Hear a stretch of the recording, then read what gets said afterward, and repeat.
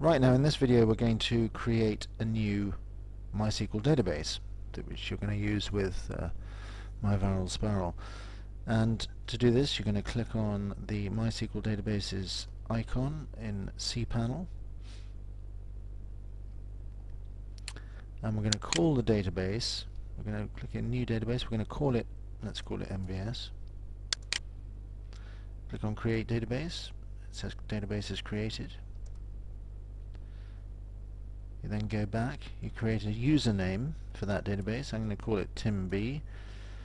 Uh, and a password 1234. You then create the user.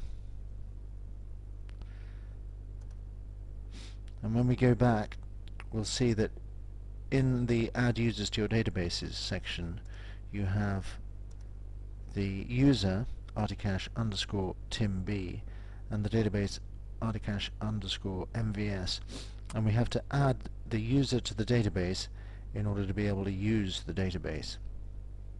So with all privileges selected, click on add user to database and now that database is set up and this is the detail for it.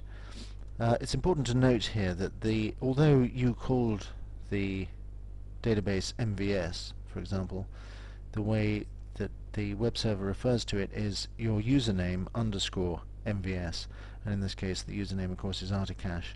So it's Articache underscore MVS is the name of the database.